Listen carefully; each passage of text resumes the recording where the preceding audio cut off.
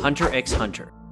Episode 1 A 12 year old boy, Gon, hunts down the monster of the swamp to fulfill the promise with his aunt, Mito, who agreed to allow him to take the hunter exam if he hunts down the beast, but was reluctant to because his father, Ging, once he became a hunter, never returned home. Soon the boy sets off on a boat to the exam site, but the ship hits a storm, which decapacitates most of the people aboard, except for Gon, the unhinged, Kurapika, and the teen who looks too old, Leorio. The captain summons the three and asks them reasoning to take the hunter exam, revealing this is a preliminary round for the exam. Gon exclaims that he wants to become a hunter and see what's so special about it that made his father leave his family. Kurapika wants the exact revenge on the criminal group Phantom Troupe, who annihilated his Kurta clan. Meanwhile, Leorio wants it for the money. The two get into an argument and head to face off on the deck, but that is disturbed when one of the crew members, Katsuo, falls off the ship and Gon recklessly jumps after him, making the two catch his legs. The next day, Kurapika and Leorio make up, and Captain promises to take them to the port closest to the exam site. Episode 2. From the port, the trio head towards the cedar tree atop the hill as the captain advises them to, but they are stopped by an old woman who declares they'll have to pass her quiz if they wish to move forward. Though the quiz is quite infuriating as it expects the participants to choose between two indispensable things, but they all manage to pass as the right answer was silence. The old lady instructs them to meet the navigators near the tree. By nightfall, they make it there, but realize that the couple living there had been attacked by a shape-shifting creature, Kiriko. Leorio treats the man while the others chase after the beast to save the woman it had kidnapped. But all three manage to realize that there are more than one of the shape-shifting creatures. Surprised, the Kiriko laugh and pass the three after admiring their skills and flying them to the exam site because of their ability to recognize that they are just a family of four Kiriko. Episode 3 The next morning, the trio finally arrive at the exam site, a hundred floors below an indistinguishable restaurant in Zaban City. Once outside, they see the vast number of participants and one of them approaches the trio, the rookie crusher, Tonpa. He feeds them information on an infamous participant, the eccentric Hisoka, who had attacked an examiner last year and was disqualified. Then he offers them a can of juice laced with laxatives. But Gon and Kurapika realize what's inside and his efforts are wasted. Although they aren't the only rookies who see through his scheme, and one of the rookies, a boy as old as Gon, Killua, even asks Tonpa for another juice after drinking one, explaining that poisons don't work on him. Soon the examiner, Satotz, introduces himself and tells the participants to follow him through the tunnel for the first phase of the Hunter exam. Episode 4 The examiner continues running for 30 kilometers and the participants start to give in slowly. Although this gives time for them to know one another, the two 12 year old boys get along quite well. Killua tells Gon that he's taking the exam for fun, and Gon tells him reasoning. Though Killua is quite surprised at Gon's faith in Leorio, he manages to catch up with Kurapika. The two get talking as well, and the latter explains how the Phantom Troupe killed his clan for their crimson eyes. Thus, he wants to become a hunter to eliminate them. Leorio explains that his reason is money, because money can cure anyone. Thus, he wants to get the money and become a doctor. Soon, Satotz reaches the end of the tunnel. Though, Gon and Killua are not far behind, as they are the first ones to reach the exit. The examiner explains that they are in Swindler Swamp, so the participants must stay vigilant and follow him closely as creatures here would try to kill them. Episode 5 As they stumble through the swamp, Gon and Killua decide to run ahead and distance themselves from Hisoka,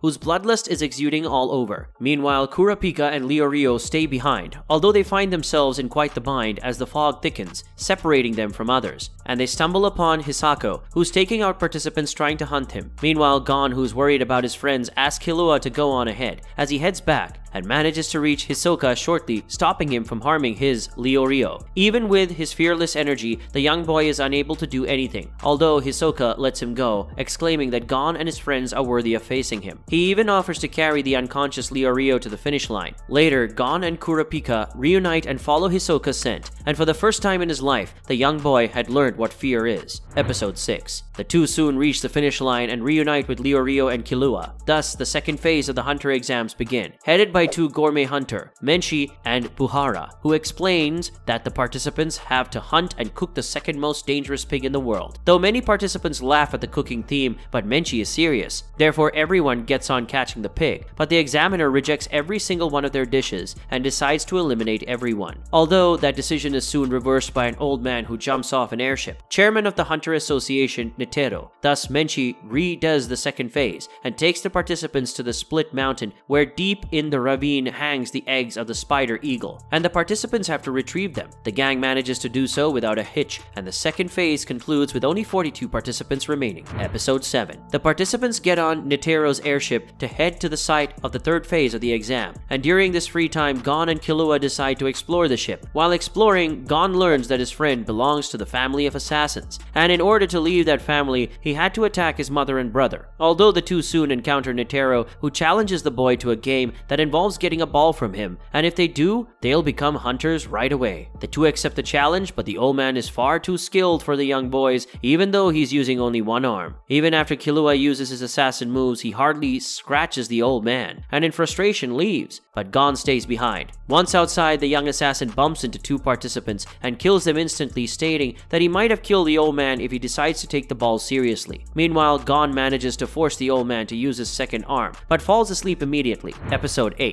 The next day, the participants land on the Trick Tower for the third phase of the exam, where they'll have to descend the tower within 72 hours to pass. Atop the tower, the gang ends up in a room after flipping the floor, but the fifth member of their team is Tonpa, and together they take the majority route, where the majority rules what decision they make. They head forward and arrive in a large room where they are to face a group of prisoners, and to progress, they would need beat at least three of them, whereas the prisoners get a year off their sentence for every hour they delay the participants. Tonpa volunteers to face the first prisoner, Bendot, sentenced to 199 years for robbery and murder, but he gives up immediately because he would rather mess with the rookies than become a hunter. Up next, the prisoner Sedokan steps onto the arena and Gon faces him. Episode 9. The prisoner proposes a match to see whose candle burns the longest. The young boy innocently chooses the longer candle, but unbeknownst to him, it is covered in oil. Thus, it starts to burn away rapidly. Although Gon improvises and rushes up to Sedokan, blowing his candle and winning the round. For the next round, Kurapika faces the prisoner Majtani, who proposes a death match to decide the winner. To pressurize the frail-looking boy, the prisoner boasts the number of people he has killed, and reveals that he belongs to the Phantom Troupe. Seeing the spider tattoo on his back makes Kurapika's eyes turn crimson from anger, and he punches him in the gut, knocking Majtani out, but not killing him. Kurapika warns the criminal not to pose as troops in front of him ever again, because if he does, he will kill him. He sits in the corner as Majtani lays on the ground.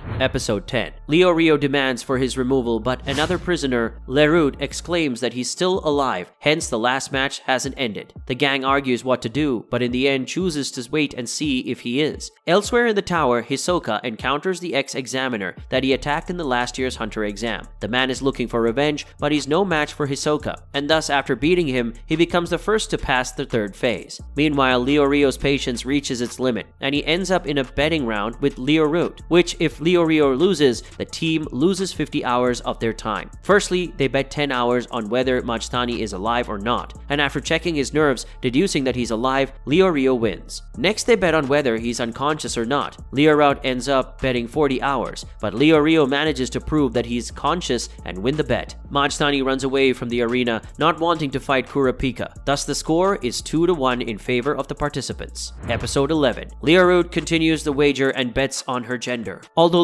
Leorio opts to bet 10 hours on that she's a male for a chance to examine her body. Thus, although winning in his mind, he loses the bet. For the last wager, the two play a classic match of rock, paper, scissors, and the prisoner bets 80 hours of her time. After playing some mind games and making Leorio panic, she beats him, and thus the participants lose 50 hours of their time. Now the score is 2 to 2. For the last round, it's Killua's turn to face the sadistic and psychotic prisoner, Johness the most infamous mass murderer of Zaban City. Even though Leorio tries to stop him, the young assassin, without any hesitation, walks onto the platform. And before Johness could even flinch, Killua removes his heart, and just like that, the prisoner is dead in a matter of a few seconds. Thus, the game ends 3 to 2 in the participants' favor. Although they still have to spend 50 hours of their penalty before progressing, meanwhile, two more participants, the creepy Gittarackur and Hanzo the ninja, pass the third phase. Episode 12. The gang spends the next 50 hours in a small room, spending their time sleeping and messing with each other. Time passes and finally the door to the room opens. They blitz through several obstacles and with just one hour left, they reach a small room with two doors, one labeled X and the other O. The O door allows all five participants to pass, but it's a long and grueling route which can take 45 hours, while the X door allows only three participants to pass, but it takes only three minutes. The stress causes Tonpa to attack Leorio, but Gon comes up with an idea. They all select O and dig their way through the wall into Route X. Thus, all of them manage to pass the third phase of the Hunter exams. The The end for now.